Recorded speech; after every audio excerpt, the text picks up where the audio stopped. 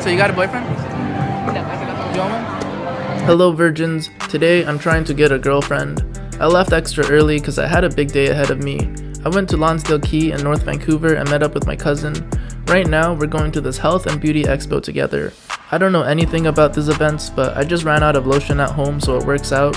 I got so many free samples, which was really great because I would never buy the actual thing.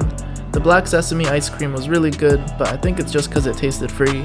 It was also nice meeting other virgins as well. Like these two girls, I really thought they were gonna make out, so it got me excited, but they just wanted a photo with me instead, so I was really disappointed. Ambi was a little too famous for a peasant like me, but I eventually got to steal her away for a little bit. So you got a boyfriend? No, I do not. You want one? You know, I feel like single life is treating me a little too good. Alright, alright. Alright, boys. It's over. Even though she turned me down, I'll keep trying because I'm sure my personality can wear her down until she says yes.